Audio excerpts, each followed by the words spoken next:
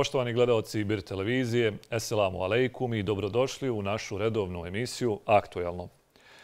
Šta ako Dodik odluči da se odcijepi od Bosne i Hercegovine, odnosno da manji bosansko-hercegovački entitet RS odcijepi od Bosne i Hercegovine? Da li smo e, zapravo u ovoj situaciji pred vratima rata? Da li naši političari, da li oni koji nas predstavljaju vlasti previše podilaze Dodiku i Čoviću? Trebamo li se kao premijer Eh, Federacije Bosne i Hercegovine smijati Dodikovim izjavama kada Bošnjačkog, kada Željka Komšića nazove bošnjačkim članom predsjedništva? Da li nam država ispada iz ruku? Sve su to teme o kojima ćemo večeras razgovarati sa našim gostom. Naš gost je dr. Jahja Mohasilović, geopolitički analitičar. Dobro poznato lice, rekli bismo na televiziji. Biri Jahja, hvala lijepo na gostovanju u programu televizije. Biri, evo vidjeli ste i u samoj e, najavi e, dosta izuzetno bitnih i teških tema imamo večeras. Hvala vam na pozivu, uvijek mi je zadovoljstvo. Alikum salam vama i vašim gledovacima. Imali smo sastanak e, vladajuće koalicije jučer, Dodik Čović i Nikšić. E, dogovoreno je da ništa nije dogovoreno kao i u dosadašnjim sastancima. Onako očekivane izjave nakon sastanka. Naravno, javnost nije sada očekivala Bog zna šta.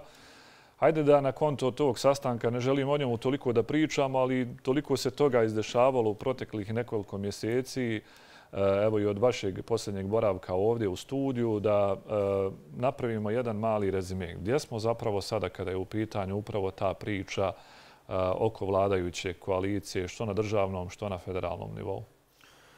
Pa, nažalost, moram reći ovaj, da nije bilo napretka od, od, od zadnjeg gostovanja. Ovaj, mislim da smo i tada i prije toga ukazivali, ja i mnogi koji su dolazili u ovaj studio, da zapravo tog napretka, tog lažnog napretka koji su nam mnogi lideri iz trojke obećavali, da ga nikada neće ne biti. Očito, s obzirom, e, ako su obzir uzme konstalacija da je trojka u suštini tu dovedena da bi isključivo povlađivala interesima HDZ-a u federaciji, SNSD-a i HDZ-a na državnom nivou i vidimo da se to desilo. Naravno, e, do sad sve poteze koji su oni vukli e, su, su, odnosno koje je trojka odobravala, jer je imala taj nekakav podanički, nažalost, stav prema prema, prema SNSD i HDZ-u i nisu imali jasne crvene linije, nas je dovelo do toga da mi danas imamo manje Bosne i Hercegovine nego što smo imali prije nego što je trojka sjela, sjela u fotelje. naravno, vidimo da tu određenih problema ima da nekad, ponekada stvari ne idu onako glatko kako su to nečekivali, ali definitivno mnogo glađe nego što je to ikad išlo HDZ-u i SNSD-u. Naravno, sada je tu sad niz tema koje SNSD i HDZ insistiraju trojke da im to uruči. A Najbitnije od toga je, ono barem što je na agendi, što je posrijedi, je Ustavni sud, odnosno imenovanje Vukoje. I oni sada pokušavaju da nađu na svaki način rupu u zakonu kako bi mogli zaobići komisiju za imenovanje. E, tako da e, pokušavaju sada da prevla, to im je zadnja, e, zadnja finta, tako da kažem, koji pokušavaju da provuka, to je da prebace nadležnost sa te komisije na predstavnički dom, što nigdje ustav ne piše, što je definitivno antiustavno, a mi smo vidjeli da u prošlosti je trojka šutla na mnoge antiustavne poteze, što visokog predstavnika, što HDZ i SNSD, kako bi se održali u vlasti.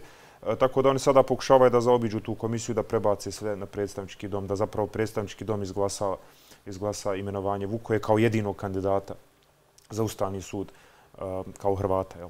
A nakon toga, naravno, e, ide državna imovina, najvjerojatnije to je sada ono što se tiče entiteta RS, a mi vidimo da tu jednu perfidnu igra, da jednu perfidnu igru igra međunarodna zajednica predvođena Kristijanom Šmitom sa Miloradom Dodikom, gdje se na neki način prave te vještačke krize, a u kojima Schmidt ne odgovara, na koje Schmidt ne odgovara adekvatno i to nekako sve trasira put Dodiku da eventualno sutra traži e, državnu imovnu da se prebaci ne na entitete, pošto postoji opcija da se one prebace na općinu, što nikako, na općine što nikako ne bi odgovaralo SNSD-u i Dodiku. E, Dodik stvara ove, ove vjer, konstantno vještačke krize i svađe, fiktivne svađe sa visokim predstavnikom kako bi mu se taj zahtjev udovoljio barem ono što vidimo iz ponašanja međunarodne zajednice i u kojem pravcu cijela stvar ide i u obzir uzmemo trojku slabu kakva jeste, a definitivno nam se čini kao da će da će Milorad, dobiti, Milorad Dodik u konačnici i dobiti a, tu državnu imovinu. Naravno, sve je to dio jednog većeg plana, jedne veće igre koja se vrti oko Bosne i Hercegovine, jer je u nekim centrima moći procijenjeno, odnosno namijenjeno da Bosna i Hercegovina egzistira kao konsocijacija, ili ako hoćete možda još malo precizni izraz od toga, e, kondominijum Srbije i Hrvatske, gdje će 49% teritorija gotovo apsolutnu vlast imati srpski faktor u Bosni i Hercegovini, samim tim i Srbija, s obzirom da se mnogi Srbi u Bosni i Hercegovini ponašaju kao agenti upravo Srbije, a dok će u federaciji e, kao manjina da vlada HDZ, odnosno na neki način Zagreb kroz HDZ. Kako će zapravo e, u cijeloj toj situaciji država Bosna i Hercegovina funkcionisati? Kako je moguće funkcionisanje države Bosne i Hercegovine? Vidio sam dosta kolega e, je pisalo i proteklih nekoliko dana govorilo o o tome da se Bosni i Hercegovini sprema određeni kiparski scenarij. Kiparski scenarij konkretno u kontekstu, a to je recimo se spominje naročito nakon što je e, ministar vanjskih poslova Bosne i Hercegovine, gospodin Konaković, a rekao da, da eh, evropske institucije, odnosno Evropska unija, ne želi da ulaže u entitet RS, a s druge strane da su voljni da ulažu u federaciju. A mi vidimo tu zapravo, on je, da li je to uradio namjerno ili, ili, ne, ili, ili njegova nevještost, u to ne želim da ulazim, ali definitivno je raščlanio Bosnu i Hercegovinu na dva entiteta i na neki način, e, pored toga naravno još neke druge poteze koje vuče Međunarodna zajednica u Bosni i Hercegovini, ali SNSD i HDZ i trojka s njima zajedno u paketu, mi vidimo da se na neki način se stvara klima u kojoj će se drugačije tretirati dva entiteta. Jedan entitet koji će biti pod patronatom Srbije gdje će slobodno moći da, da, da, da postoji ruski maligni utjecaj, da postoji mađarski maligni utjecaj, srpski i tako dalje. S druge strane, jedna federacija koja je više vezana za, za, Evro, za Zagreb, odnosno kroz Zagreb za Evropsku uniju. A to je u suštini taj kiparski scenarij u kojem se govori, gdje će unutar jedne države, koja će imati vrlo slabe institucije i koja će tek biti na papiru, zapravo de facto na terenu postojati dvije države. Jedna više je vezana za Zapad, druga više je vezana za ovaj istočni geopolitički blok Srbiju, Mađarsku i Hrvatsku. A, naravno, to je vrlo, vrlo opasno što se radi. Mi vidimo recimo da se, da se recimo BN, signal BN televizije ugasi u federaciji, ali da se s druge strane traži u entitetu RS da se signal N1 ugasi u tom entitetu. Tako da po, po tim nekim malim potezima koji se rade zadnjih mjeseci mi vidimo da se na neki način pokušavaju stvoriti dvije države mini države unutar jedne države Bosne i Hercegovine koja će, koja će biti slaba. Tako da je to otprilike taj neki kiparski scenarij o kojem se govori, jer Kipar de facto Uh, UN priznaje njegov teritorijalni integritet, međutim ono na terenu što je realnost je da vi zapravo imate grčki i turski dio Kipra, gdje u turskom dijelu Kipra Turska gotovo vodi sve političke konce, a dok je ovaj, ovaj grčki dio vezan za Evropsku uniju. Tako da se od Bosne i Hercegovine nastoji nešto slično napraviti. U to, nek... to se aludira kada se... Da, u toj nekoj ideji balkanskog Kipra, kada se spominje Bosna i Hercegovina, gdje su zapravo i gdje će zapravo biti bošnjaci i šta će oni predstavljati uopšte u takvoj tvoremini? Bošnjaci, nažalost, što za Zagreb, što za Beograd, što za međunarodnu zajednicu, odnosno politički zapad, eh, je na neki način predstavlja statistička smetnja. Bošnjaci tako se percipiraju u tim krugovima eh, i vidjeli smo nakon zadnjih izbora da se sve uradilo kako bi se politička vlast eh, uzela bošnjacima iz ruku. Naime, bošnjaci kao fizička puka masa imaju pravo, kao što je tu Šmit jednom nevješto rekao, kao imaju pravo da tu egzistiraju, Mislim da mu je to izletlo i da to na neki način odražava i njegov stav kakav on ima prema bošnjacima kao narodu, ili nacija ako hoćete.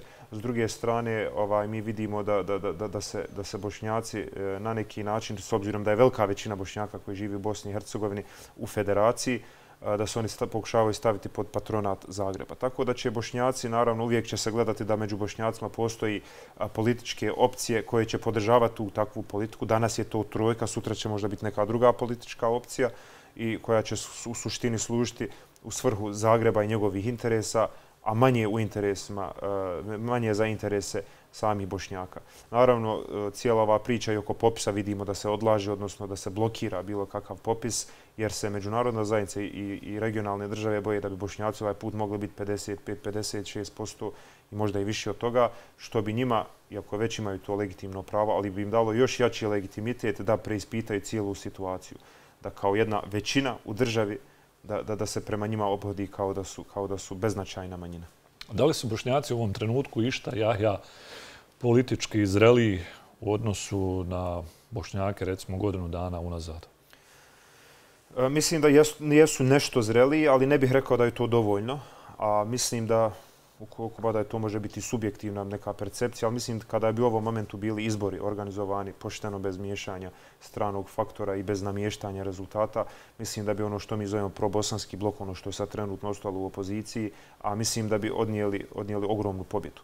Barem se tako čini. Međutim, opet, e, onoliko, onoliko koliko ja mogu da pratim situaciju, a mislim da to nije dovoljno samo po sebi, e, da ta ogorčenost koja se stvorila prema trojci, a mislim da sama po sebi nije dovoljna. A mislim da e, tu ogorčenost treba da prati i akcije i djelovanje.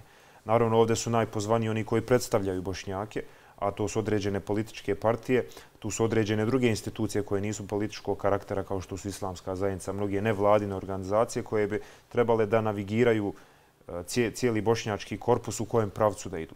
E, ja lično mislim, to je neko moje lično mišljenje, mislim da se na tom planu dovoljno ne radi, iako je prostora jako mnogo. Naravno, postoji ta e, opravda, opravdan strah i dilema e, kakvu će to kontrareakciju sa druge strane da izazove. Međutim, lično sam mišljenja da e, bošnjaci nemaju šta da čekaju i da ta politika pasivnosti koju mi godinama vodimo, nije to nešto što je od skora, nas je u suštini samo koštala i otvorilo je ogroman prostor Beogradu, Zagrebu i njihovim, njihovim ekspoziturama Bosne i Hercegovine, da oni kroje politiku, politike koje smo mi morali da krojimo. Mislim da je krajnije vrijeme da mi počnemo voditi tu proaktivniju politiku, a da oni odgovaraju na našu proaktivnu politiku. Naravno, treba bježati od bilo kakvog vida radikalizma, za to definitivno nisam, pa i ići i protiv radikalne politike. I politika može sama po sebi biti radikalna, ali definitivno e, mnogo, mnogo proaktivnije bi morali da radimo na tom planu. A ukoliko to ne budemo radili, bojim se da, da, da ćemo nastaviti da pred očima gubimo svoju državu. Nekoliko evo, tema koje sam spomenuo u samom uvodu ove emisije, da nekako blic prođemo kroz sve ove teme. E, svaki dan po nekoliko puta čujemo secesija, referendum, odcepljenje od Milorada Dodika i nije više Milorad Dodik koji to ponavlja samo svakodnevno. Tu su i dosta je tu drugih političara iz manjeg bosansko-hercegovačkog entiteta. Evo Stevandić je neki dan također prijetio odcepljenjem i tako dalje. Da li je to zaista moguća stvar? Ajde ovako da postavimo prvo pitanje. Da li je moguće da Milorad Dodik ili kogod već budi htio proglasi odcepljenje RS-a od Bosne i Hercegovine? To je moguća stvar, ali ne još. E, Politika, srpska politika, koja vidimo da se ukrupnila, više to nije samo SNSD i Dodik, to je već srpska politika uh, prema Bosni i Hercegovini. Uh, oni to kao konačni cilj imaju. Ima i HDZ, da se nalažemo. I HDZ ima isti cilj s tim da su kapaciteti HDZ-a uh, mnogo limitiraniji nego što su kapaciteti SNSD-a i samo ustrojstvo Bosne i Hercegovine Mislite na treći entitet ili na ocijepljenje RS? U konačnici, je, definitivno u konačnici i Dodiku i Čoviću, odnosno i Beogradu i Zagrebu, to jeste cilj. Međutim, oni su naravno svjesni da to ne mogu tako brzo uspjeti, ali oni će uraditi sve poteze do, do pred sami čin ocijepljenja. Naime, cijelu stvar će u Bosni i Hercegovini, odnosno od Bosne i Hercegovine će napraviti totalno disfunkcionalnu državu, dovest će stvar do kraja i vjerovatno će čekati povoljniju geopolitičku klimu da jednog dana se konačno i ocijepe, ili proglase nezavisnost, pa nakon toga ocijepe kako im će to već koracima ići. To je sada stvar tehničke prirode, ali definitivno oni idu, idu do, do samog čina ocijepljenja. Naravno, e, stvari u politici, ni u geopolitici, se ne podrazumijevaju. Tako se ne podrazumijeva ni da će konstantno postojati volja međunarodne zajednice za teritorijalni integritet Bosne i Hercegovine. Naime, mi jesmo svjedočili za njih 30 godina od nezavisnosti Bosne i Hercegovine da u generalnom smislu jeste postojala volja da se teritorijalni integritet i nezavisnost Bosne i Hercegovine sačuva. Međutim, to nije datost. To ne znači da će za 10, 15, 20 godina biti tako. Naime, može se desiti hipotetički govoreći da Milorad Dodik i Dragan Čović do kraja izguraju svoje političke cilje unutar Bosne i Hercegove kao bosansko-hercegovački političari i, i da onda i u međunarodnoj zajednici se stvori klima i ambijent u kojoj će neko reći ok, Bosna i Hercegovina evidentno je disfunkcionalna, Bošnjaci evidentno nisu nikakav politički faktor, dajte da podijelimo Bosnu i Hercegovinu između Srbije, Srbije i Hrvatske. To se realno može desiti, ako koliko god nam se danas činilo nerealnim, to se jednog dana može desiti. Kao što se možda 60. i činilo nekom nerealno da će Bosna i Hercegovina jednog dana biti nezavisna država, dok je Jugoslavia bila u cvijetu svoje mladosti. A, međutim, to se 90-30 godina samo nakon toga se desilo. Tako da mi ne znamo za 10, 20, 30 godina kakav će biti geopolitički ambijent. Stoga mi ne smijemo dozvoliti Dodiku i Čoviću da se približe, da se približe svojim ciljem. Hipotetički govorimo šta se dešava unutar Bosne i Hercegovine, šta se događa e, na ovom teritoriju ako danas evo Milorad Dodik i bilo ko, evo vi ste sada dobro ovo rekli, da je srpska politika prema Bosni i Hercegovini takva, dakle nije to više samo Milorad Dodik. E, ako taj politički faktor odluči da proglasi ocepljenje RS-a, šta to znači za Bosnu i Hercegovinu? Šta se dešava u Bosni i Hercegovini? Pa vidite, e, kao prvo, eto, ponovo da ponovim, ovaj, on to neće uraditi na silu, neće uraditi na način uh, da izazove reakciju međunarodne zajednice protiv sebe, pa da mu na kraju i Srbija okreće leđa jer ga neće moći zaštititi u ovom trenutku. Neće ići na tako, a, tako nesmotren potez. A, međutim, ukoliko dođe, ukoliko se stvori taj ambijent, a stvaraju ga sve više, i on se ocijepi, a, situacija će biti znatno drugačija nego 92. iz niza razloga. Prvo što način ratovanja kako se ratovalo 90. godina, više se navodi taj vid ratova. Danas je potrebno mnogo manje ljudstva, mnogo manje armije, ali profesionalne armije koja zna da ratuje, a ne običnih regruta koji uzmu pušku u ruku i idu, idu da brane svoj prag. Stoga to podrazumija mnogo manje logistike, mnogo više oslanjanja na tehnologiju, oslanjanje na dronove, na, na, na, na mnogo preciznije rakete i tako dalje. Definitivno, kao što vidimo i u ruskom scenariju, tako bi nešto bilo i u srpskom scenariju, oslanjanje mnogo više na plaćenike, da li, da li da je riječ o Wagnerovcima ili nekim drugim grupacijama, tako da bi priroda rata bila u tom smislu nešto drugačija zbog same tehnologije i, i te promjene koja se desila. Sa druge strane, a, i ni, ni e, politička, ni geografska konfiguracija, ni demografska, ako hoćete, više nije ista kao 90, početkom 90. godina. U ovom slučaju, koliko bi Milorad Dodik proglasio nezavisnost, a, on ne bi napao federaciju, ne bi napao Bošnjak, Bošnjake kao što je to JNA uradila kasnije srpska vojska, kao što je uradila početkom 90-ih, Već bi u ovom slučaju mi morali biti ti koji bi morali da branimo teritorijalni integritet Bosne i Hercegovine i naravno da će se srpska diplomatija nakon proglašenog referenduma, nezavisnosti i tako dalje, nakon što oni demokratski pod navodnicima izraze volju da izađu iz Bosne i Hercegovine, ovaj, u tom slučaju ćemo mi mora da branimo teritorijalni integritet, a srpska diplomatija, koja je mnogo jača od naše diplomatije trenutno, nažalost, će uraditi sve da nas predstavi kao nekoga ko napada zemlju, ovaj, koja, koja napada nezavisnu zemlju, odnosno zemlju koja je proglasila nezavisnost demografskim, put, demografskim putem ovaj, kroz referendum i tako dalje. Tako da, e, mi se ne smijemo dovesti u tu situaciju da sutra braneći teritorijalni integritet Bosne i Hercegovine mi ne postanemo agresori. A možemo postati agresor, stvar se mogu za 180 stepeni okrenuti. Možemo postati agresori ukoliko se na geopolitičkoj sceni stvori klima da velika većina zemalja želi nezavisnost Republike Srpske. Onda bi u tom slučaju mi ispali agresor. I naravno morali bi imati drugi front protiv Hrvata u Bosni i Hercegovini u federaciji i onda bi bili razučeni na dva fronta i bojim se da bi u tom slučaju se nas proglasilo radikalnom skupinom i da bi to dalo opravdanje svijetu da nas sutra možda i bombarduje i tako dalje. Naravno, ovo je sve hipotetika, ali cijela stvar, ukoliko nastavi ovim pravcem i ovim tempom, može, može doći u tu tačku. Da imamo sad polugu koja se zove ručna kočnica i da je možemo povući, šta bi to značilo? Kakve poteze moramo povući da se cijela ova situacija koja očigledno ide niz brdo zaustavi? Pa sada je mnogo teže. Vidite, mi smo dosta odmakli u, u tom opadanju Bosne i Hercegovine, a one stranke koje su iskazale neki minimum e, žrtv, volje za žrtvu i, i volje da ne daju a da ne daju da da imaju crvene linije odnosno da ne daju ovaj da se dira u nacionalne interese u najukvirnijem smislu Bosne i Hercegovine su trenutno u opoziciji imamo nažalost kao legitimne predstavnike iako ne volim taj izraz u vlasti stranke i političare koji definitivno su odlučili da da udovoljavaju ciljevima HDZ i SNSD-a a sada je mnogo teži. Međutim, stvar nije totalno izgubljena. Naravno, e, politiku koju možda ne možemo trenutno voditi na državnom nivou, definitivno možemo voditi na lokalnim nivoima, možemo voditi na opštinskim nivoima, možemo voditi na kantonalnim nivoima.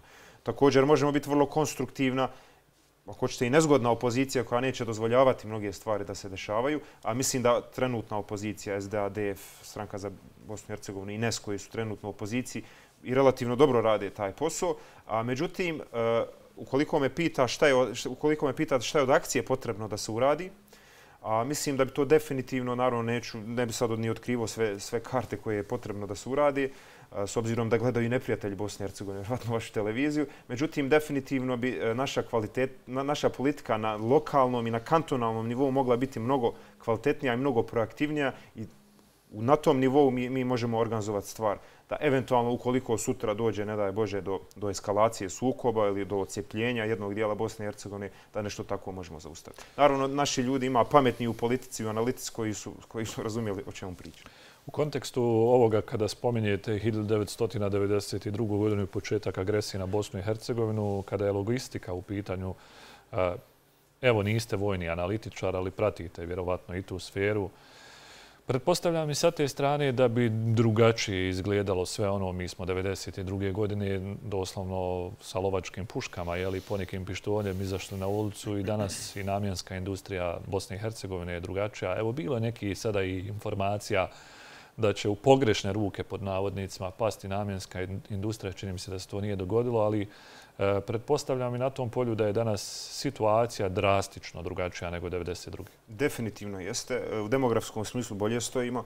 A što se tiče nacionalne svijesti, jer smo mi obezglavljivani i, i na neki način e, svjesno su, svjesno su vođene suverzivne operacije protiv Bošnjaka, e, vezane za njihov nacionalni identitet, pa je u našem narodu postala zbunjenost vezano za nacionalni identitet, mi tu dilemu danas nemamo, iako mnogi pokušavaju da uh, uguraju u, u javnost ovu priču da li bosanac ili bošnjak, sasvim nepotrebno, u vrlo, uh, vrlo nezgodnom trenutku kada se protiv Bosne i Hercegovine i bošnjaka vodi ovakav politički rat kakav se vodi, ta rasprava nam je sasvim, sasvim uh, bespotrebna.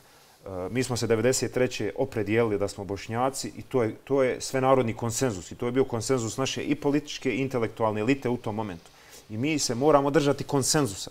Tamo da su 93. rekli, evo, svi smo muslimani, bili bi danas muslimani. Da su rekli, svi smo bosanci, bili bi bosanci. Ako je taj konsenzus već dogovoren 93. ne treba se vraćati na tu priču. Naime, mi smo bošnjaci kao takvi treba da nastavimo i ne, ne smijemo dozvoliti da nam mnogi e, razvlače pamet.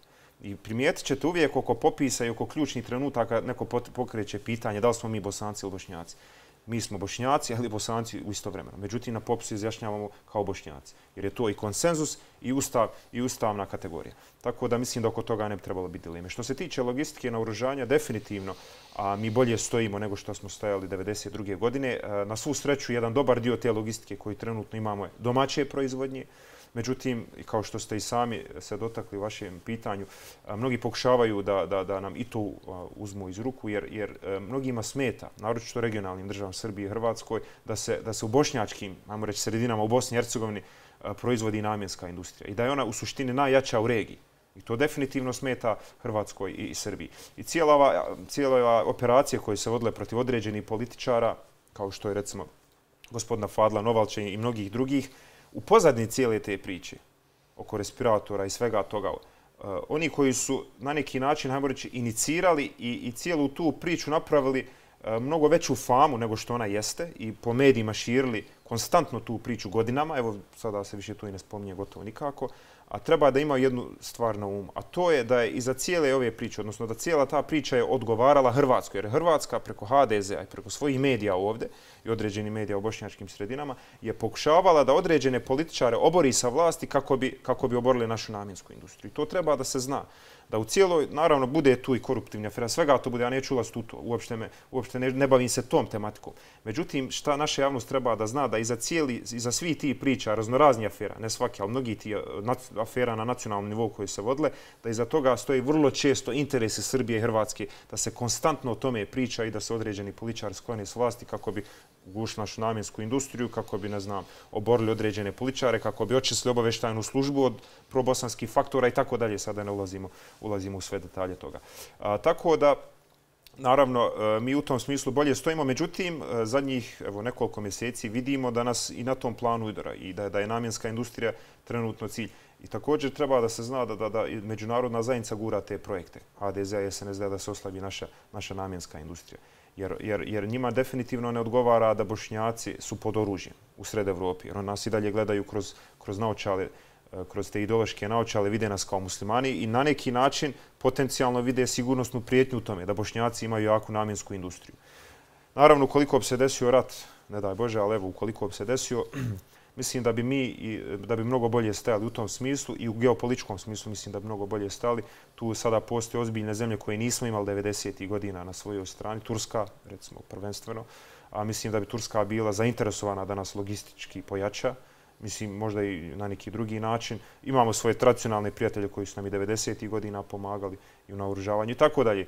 E, mislim da smo u puno boljoj situaciji što se toga tiče i toga je i srpska i hrvatska politika u Bosni i Hercegovini svjesna. Iz tog razloga oni nisu krenuli agresivno kao 90. godina, već pokušavaju kroz papire, kroz ovaj birokratski puć pokušavaju da nam, da nam uzmu ono što nisu uspjeli 90. Kako pojačati taj nacionalni identitet? Jahja, e, evo, spominjali ste Tursku, često volimo onako interno spomenuti Turke kao nekoga, kao primjer ljudi koji neizmjerno vole svoju zemlju. E, da li od njih uzeti recept? Da li uzeti recept od e, Albanaca, na primjer? Da li od e, ljudi iz Kosova, jeli, koji također na specifičan način rješavaju svoje probleme i tako dalje? Kako pojačati taj nacionalni identitet. Mi dan danas pričamo da želimo građansku državu, da želimo državu gdje su sva tri naroda jednaka i tako dalje. Međutim, činjenica je da evo, u manjem bosansko-hercegovačkom entitetu bošnjaci se izuzetno e, pate u svojim životima. Čak nije to više klasična patnja koja podrazumeva da li neko ima posao ili nema posao, da li ima trgovinu ili nema trgovinu. Vidjeli ste jučer slučaj gdje se ispred eh, kuće bivšeg ubijenog košarkaša pronašla izbušena košarkaška lopta u Vlasenici. Kakve, kakve su to poruke? Da li je to zapravo jedna vrsta utopijske priče u kojoj mi stalno živimo kada kažemo da želimo svi skupa ovdje u miru da živimo, a znamo šta se dešava? A vidite, kod nas, eh, nažalost, zbog nekog balkanskog iskustva sa nacionalizmom, iako to nije slučaj kod drugih balkanskih naroda, kod nas je sramota reći da ste nacionalista. Eh, jer se nacionalizam kod nas smatra nečim što je nazadno, nečim što je agresivno, loše, što je nužno loše. Eh, međutim, evo spomenuli ste primjer Turske. Eh, u turskom jeziku za, riječ za nacionalizam i patriotizam je ista riječ. U francuskom jeziku riječ za nacionalizam i patriotizam je ista riječ. Naime, u mnogim društvima nije sramota biti nacionalista. Nacionalista ne, nužno ne znači i fašista. Znate, nacionalista je neko ko, ko njeguje svoj nacionalni identitet. Samim tim je on nacionalista. Tako da bi mi trebali prvo skloniti tu stigmu da je to nešto loše. Biti bosanski nacionalista, bošnjački nacionalista. Jer vi kad kažete e, bosanski nacionalista se ne koristi nikako gotovo u javnosti. Ako je neko bosanski nacionalista, zbog dominacije e, subverzivnog djelovanja kroz medije u Bosni i Hercegovini, to automatski znači bošnjački nacionalista. A bošnjački nacionalista vrlo često u glavama, im, to se perfidno radi, implicira radikalnog islamistu. To, to, to, to su absurdne stvari bosanski nacionalista, bošnjački nacionalista i radikal, islamski radikal, recimo, nije isto. Ali se naravno, na, namjerno se stvorila ta percepcija kao da je riječ o istom. Tako da, poruka bošnjacima, nema ništa loše biti u nacionalista. Naravno, mi ne smijemo biti fašisti, mi ne smijemo maltretirati ljude, mi ne smijemo imati redentističke, nacionalističke politike koje, koje čiste tlo od drugih naroda. Ali biti nacionalista je jednako i patriota. Prvo treba tu stigmu riješiti. Druga stvar, naravno, e, kako bi se pojačao nacionalni, prvo treba pojačati nacionalni ponos. Nakon što se ubijede ljudi da nije biti sramota nacionalista, onda, e, onda taj nacionalni ponos, odnosno, nažalost, štokomski sindrom koji mi imamo radi, radi, radi historije kako smo imali, raditi na tome. Raditi na nacionalnom ponosu. Naravno, nećemo mi sve bošnjakizirati, ko što sve se srbizira ili hrvatizi, kroatizira, u susjednim zemljama, bit ćemo odmireni u tome, ali definitivno imate više samopouzdanja. Da, je, da mi imamo svoj jezik, imali smo svoju državu srednjovjekovnu, svoje pismo, vjeru svojstvenu samo za ovo podneblje, svoje, svoje spomenike, stečke koji su svojstveni samo ovom podneblju. Naime, mi imamo konja za trku, kao što se kaže u našem narodu. Mi imamo biti čime ponosni. Mi imamo jednu od najstarijih granica Evrope. Samo Češka ima starije granice od nas. Mi imamo jednu od najstarijih granica koje su evo, preko 300 godina stare. Tako da mi definitivno imamo čime se ponositi i vratiti u javni prostor taj nacionalni ponos konstantno kroz medije, kroz obrazovne sisteme. Naravno, mi smo to manje više izgubili sve. To bi sad prvo sve trebalo vratiti, pa onda pravite programe djelovanja prema narodu. E, to definitivno vrati. Ja se sjećam, recimo, krajem 90. i početkom 2000. godina, kada su došle određene reforme međunarodne zajednice kao da se normalizuju kurikulumi, da se, jel, kao, kao da se smanji nacionalizam u Bosni i Hercegovini.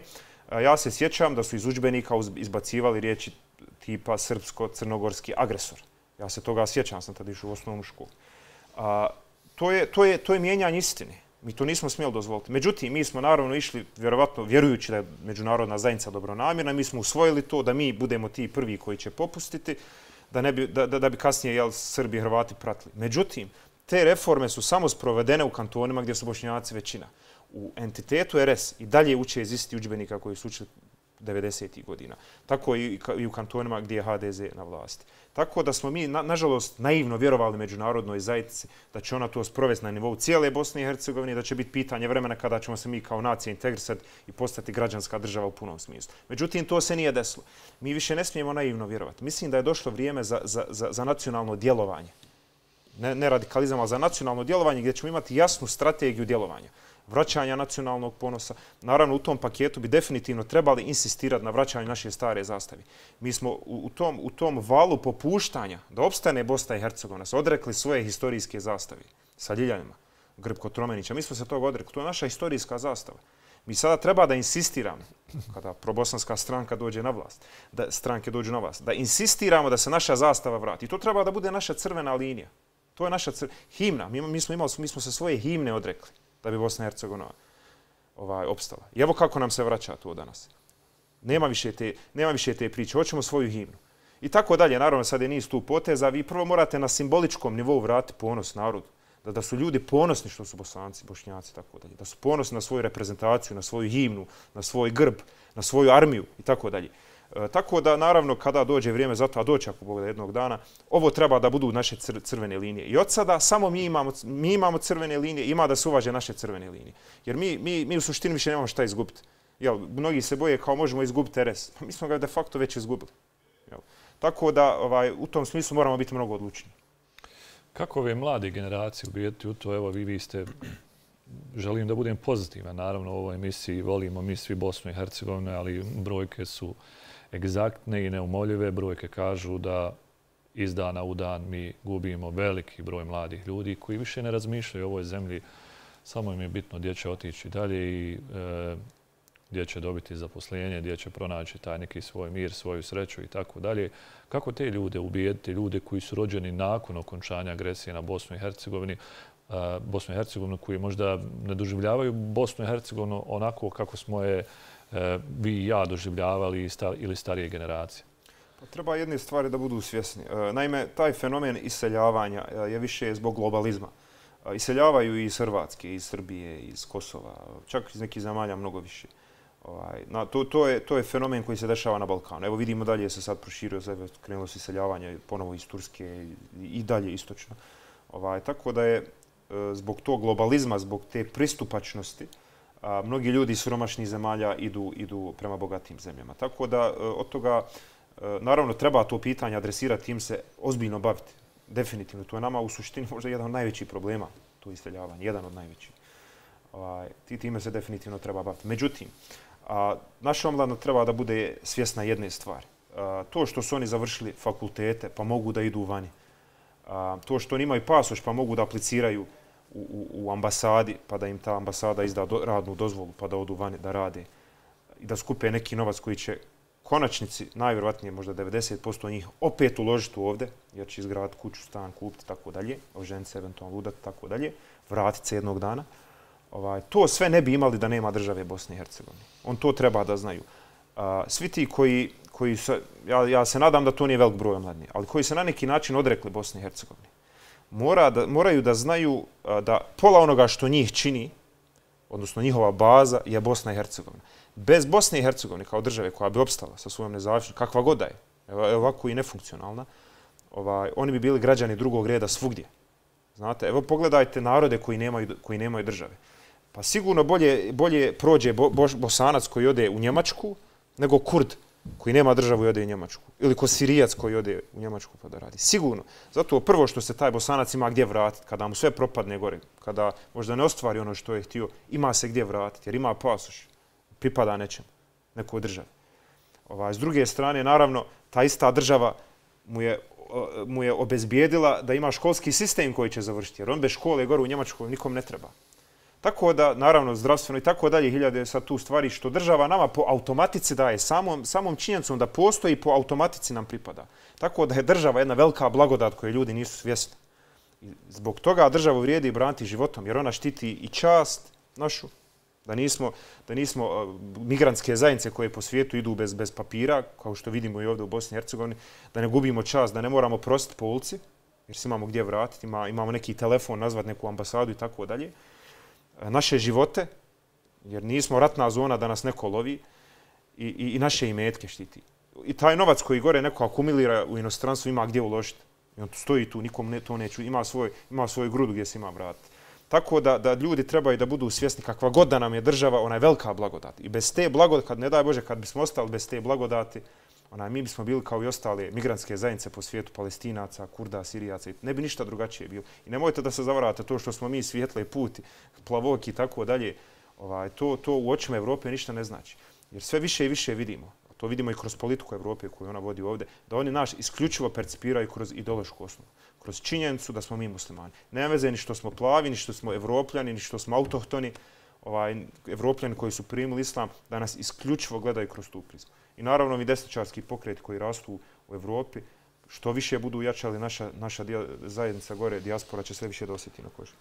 Imamo li Jahja dovoljno, dovoljno tog dostojanstva ako nam je ono ostalo e, da se upravo izborimo s tim stvarima. Evo, spominjali smo obrazovanje, mi smo nedavno imali skandal gdje je žena koja se tretira kao bušnjakinja napisala učbenik u kojem stoji da je Banja Luka glavni grad Republike Srpske i još dosta raznih nebuloza.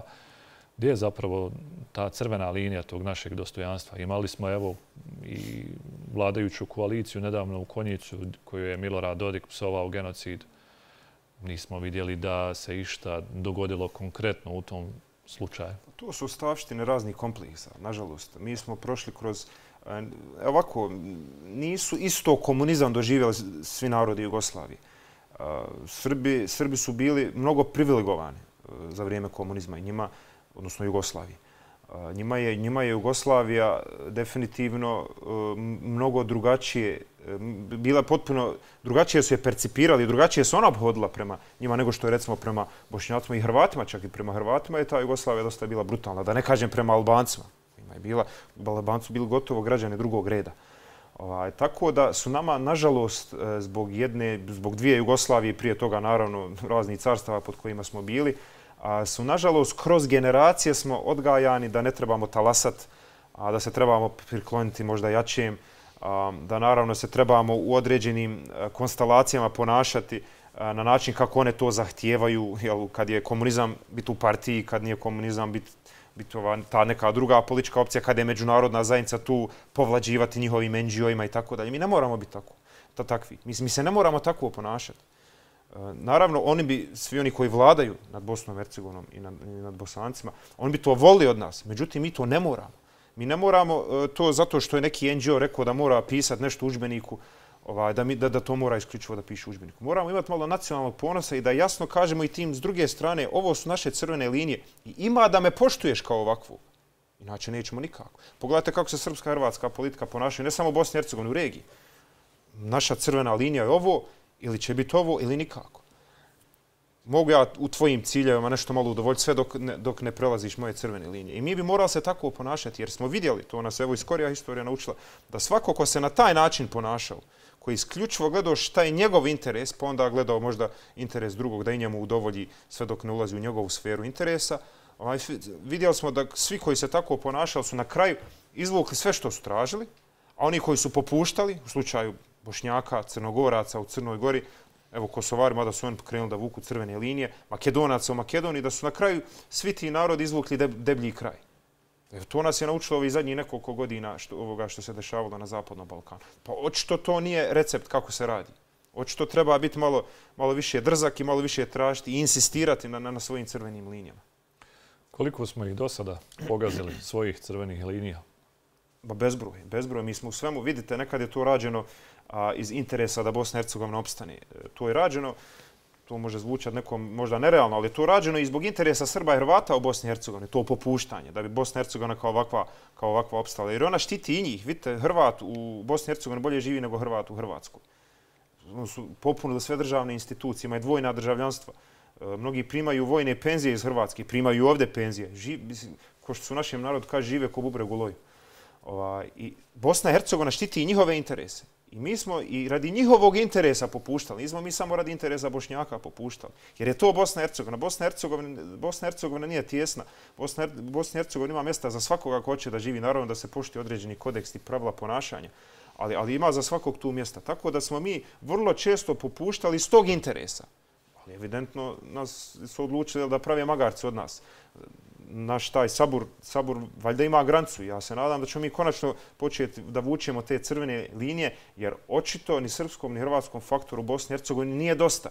Očito je njima konačni cilj da se ocijepe i da u najboljem slučaju da Bošnjaka nema nikako to očito najviše voljeli. Mnogi među njima, naravno, sad ne generalizujem cijele narode. Ali mnogi, mnogi među njima definitivno voljeli da Bošnjaka nikako nema na ovim prostorima. I šta mi sada treba da im popuštamo do te mjere dok nas ne nestane, ili kao narod, ili kao državi. A kad nas nestane kao državi, pitanje vremena kada ćemo kao narod nestati. Spomnjali ste Kristijana Šmita, visokog predstavnika u Bosni i Hercegovini. E, evo da u nekoliko rečenica prokomentarišemo e, njegovo djelovanje. Čini mi se da je ovo jedini visoki predstavnik nakon okončanja agresije na Bosnu i Hercegovinu kojeg zapravo ne priznaje, e, ne priznaje niko. Ni Srbi, ni Hrvati, ni Bošnjaci. Pa sam se doveo u tu situaciju, e, mada ja mislim da, e, da je Schmidt došao tu po zadatku, a koji on ispunjava. A mislim da taj zadatak odgovara i srpskom hrvatskom faktoru. Ne mislim, mislim, evidentno vidi se na terenu, nema se tu šta više ni misli, to svako vidi. Ovaj, odgovara definitivno i vrlo često te krize koje on ima najčešće sa Dodikom, čovjek što malo blaže radi, mada i on zateže. Ovaj, e, vrlo često vidimo da te krize na kraju ishoduju pobjedom Milorada Dodika, odnosno srpske politike u Bosni i Hercegovini i Hrvatske. Ovaj, evidentno je to ta igra koju oni igraju, jel, bad cop, good cop, što bi rekli na engleskom, toplo-hladno. Ovaj, e, I svi igraju u istom cilju, i Čović, i Dodik, i evidentno gospodin Schmidt. Naravno, Šmit se isključivo bavi bošnjacima, bošnjačkim sredinama, međunarodna zajednica se isključivo bavi korupcijom u bošnjačkim sredinama, a znamo svi da odlično da u RS-u ima mnogo više korupcije, to i međunarodni izvještaji pokazuju da u kantonima gdje je HDZ vlado ništa nije ostalo, sve pometeno skoro od korupcije i nepotizma.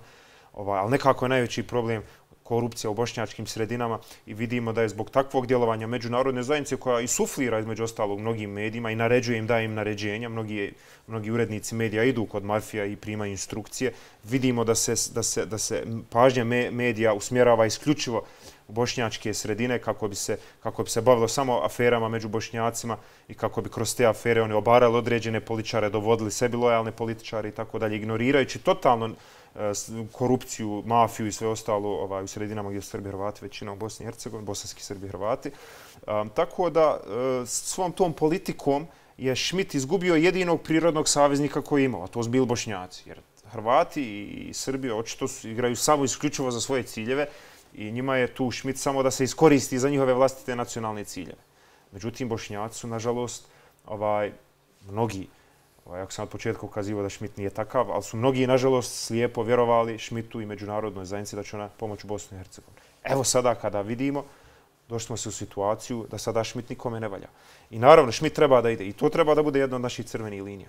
Što da ne? Kristijan, ne, ne, ne gašenje Ohajra i e, to, totalni odlazak međunarodne zajednice.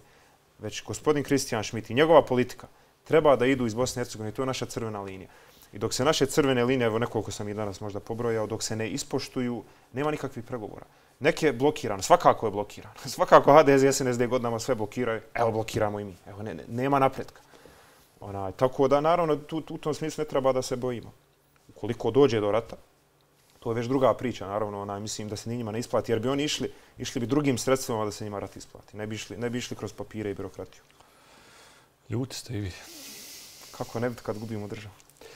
2024. godina e, lokalni izbori nam dolaze. Šta možemo očekivati, gdje se možemo očekivati, gdje se možemo zateći kada je u pitanju evo istih period naredne godine? Ajde da ne bude totalno defetistički, ja se nadam bolje. E, I treba se uvijek nadat bolje, ali treba i rad za to bolje, definitivno. E, mi smo u tom dijelu rada malo slabi. E, naravno, lokalni izbori će biti prvi test eh, da li, da li je narod konačno progledao, eh, odnosno konačno eh, shvatio da, da politike koje su vođene do sada, naročito politike koje je Trojka vodila, a, da su poražavajuće i da su loše za, za, za narod sam, ali i za državu, samim tim i za državu. Ovaj, I to će biti prvi test. Naravno, ja predviđam, ne predviđam trojki neki veliki uspjeh. Mislim da na lokalnim izborima da neće dobro proći i to će biti jedan dobar signal da se na neki način narod opametio. Međutim, naravno, međunarodna zajednica uz pomoć srpskog i hrvatskog faktora već se sprema za taj post-trojka period. I oni već rade s određenim političarima a od koji oni pokušavaju da naprave političke zvijezde, oko koji pokušavaju da zaroje nove političke stranke. A, ima tu par političara iz trojke koji su na neki način zadnjem periodu Eh, izigravali opoziciju unutar trojke, kritikujući trojku, ali eh, radeći populistički eh, na neki način jačajući svoju popularnost, oni će najvjerovatnije biti novi generator te politike, te neke nove trojke, verzija 2, kao što su, ne znam, Denis Bečirović, Benjamina Karić, Irfan Čengić i tako dalje, ti neki političari oko koji će oni zaroditi novi, novi pokret i naravno svi oni koji će pokušati da pobjegnu iz trojke, koja je evidentno tone, će se priključiti tom pokretu. Međutim, mislim da dugoročno takav jedan pokret ili politička stranka, ukoliko se desi, a vrlo je moguće, da će ona prvenstveno ići da, da oslabi DF, jer to su najčešće ljevičari iz politike i to, je, to će biti jedan veliki test za DF, da li DF može to da preživi. Jer dugo vremena pokušava trojka uz pomoć međunarodne zajednice da odvoji SDA od DF, odnosno DF od SDA. Na ovaj način će pokušati jedan dio, vjerovatno DF-a, da odvuku na tu stranu, ali međutim naš narod ne smije i ne treba da bude naivan. To nije nikakvo, nikakvo pokajanje. Ti političar, sve koji sam nabrojao, nisu nikakvi pokajnici ti političar, evo recimo gospodin Čengić konkretno, on je svo vrijeme znao šta međunarodna zajednica radi. On je bio u dosluhu sa diplomatama koji rade u američkoj ambasadi. On je znao šta se sprema, šutio je, kada se desilo, onda je progovorio protiv toga. Naravno, ciljajući na, na, na, glasove, na glasove naivnog naroda pod navodnicima, kako bi se on predstavio to kao da on ne predstavlja tu izdajničku stranku, stranu trojke. Međutim, on je u toj izdajničkoj strani. Tim više što je znao i lagao je narod. E, tako da naš narod ne smije biti, ne smije biti ovaj, naivan i, i definitivno mora četveroći otvoriti. Hvala vam lijepo na večerašnjem gostovanju u programu televizije BIR. Hvala vam na pozivu, uvijek mi je zadovoljstvo. Poštovani gledalci BIR televizije, gledali ste emisiju Aktuelno. Naš večerašnji gost bio je dr. Jahja Muhasilović, geopolitički analitičar. Ostanite uz program naše i vaše televizije BIR. Esselamu alaikum.